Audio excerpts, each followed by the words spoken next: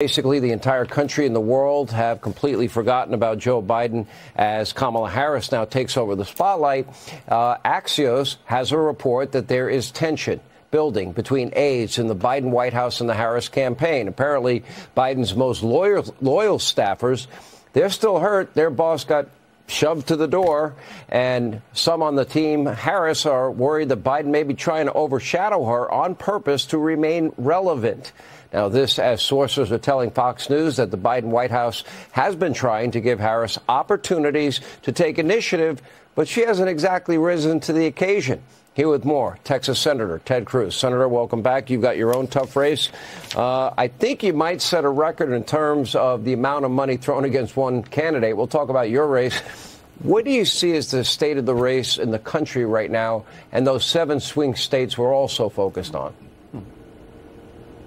Well, listen, I think the Biden Harris White House is in panic. Uh, I think with the story you just reported on is real. I think the hardcore Biden loyalists are angry. They're angry that their boss was was thrown out unceremoniously defenestrated, thrown out the window. And to be clear, I don't think Joe Biden left voluntarily. I think Barack Obama, Nancy Pelosi, and Chuck Schumer said, get out and if you don't get out, we will exercise the 25th Amendment and force Kamala on you. And I think the Biden loyalists are mad. Now, their only argument was Biden's going to lose. Well, now Kamala's losing. Right now, Donald Trump is winning in six of the seven swing states. I think the momentum is with Trump, and the Kamala campaign is panicking. Listen, you know it's bad when Saturday Night Live turns on Kamala. That happened this, this Saturday with the cold open, and I think we're going to see more and more of that momentum between now and Election Day. How do you feel about the Senate? You're a big part of that. Um, my sources in, in Texas say that you're up probably by four or five. I know some polls have shown it a little closer.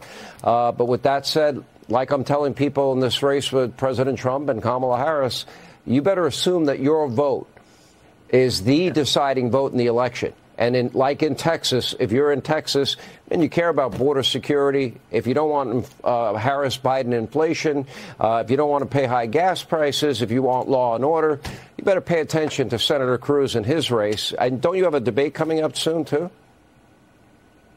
So I do. Our, our debate is tomorrow, and, and Chuck Schumer's been explicit. I'm his number one target in the country. Chuck Schumer and George Soros are flooding over $100 million into the state of Texas.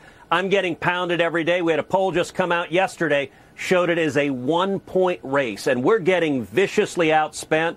And so I'm so appreciative of your viewers going to tedcruz.org, tedcruz.org, and contributing 25 bucks, 50, 100, maybe somebody giving 500 or 1,000. But go to tedcruz.org because when you've got $100 million, wild eyed liberals that want to buy Texas, and here's what Schumer thinks if he can flip Texas, he wins the Senate and he wins the country. Texas is the battleground. My opponent, Colin Allred, is a hard left Kamala Harris clone. He voted 100% with Nancy Pelosi his first four years in the House. He voted 100% with Joe Biden from 2021 to 2023. And yet, $100 million on the other side is dangerous. So please come to tedcruz.org, tedcruz.org.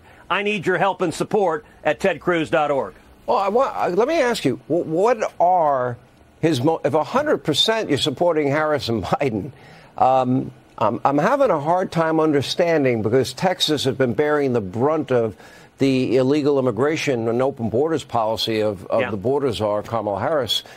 I'm trying to understand why.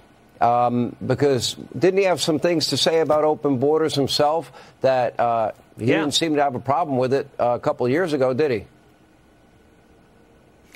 Colin Allred is doing what Kamala Harris is, which is lying like crazy, and $100 million buys you a lot of lies.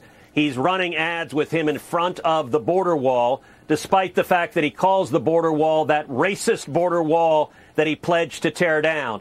He has voted repeatedly in favor of boys competing in girls' sports. He's voted repeatedly in favor of boys and grown men coming in girls' bathrooms, their locker rooms, their changing rooms.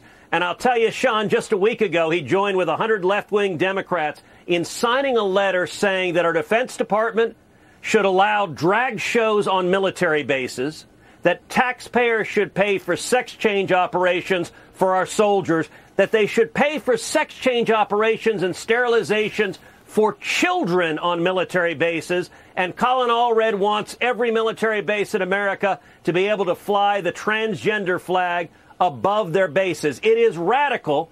And you know what he's doing right now? He's got millions of dollars of ads on TV saying, that's not true. It's all a lie. Well, his record is there, but I'll tell you, Sean, the only way the people of Texas know his record is if folks go to tedcruz.org, tedcruz.org, and contribute because right now the other side is trying to buy the race, and they're trying to buy the race through deception and lies.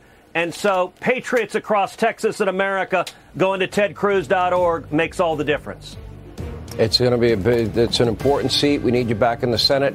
I think between you and Governor Abbott, I think the two of you, and, and by the way, other officials in Texas, to be fair, have been on the front lines of, of fighting the open borders that literally has resulted in dead Americans, Americans raped, victims of violent crime, billions and billions of dollars, and uh, it's been an unmitigated disaster, and known terrorists in the country, and 13,000 murderers that would bail out in the country. All of it is, you know, fact check it because it's all true. Uh, Senator Cruz, thank you.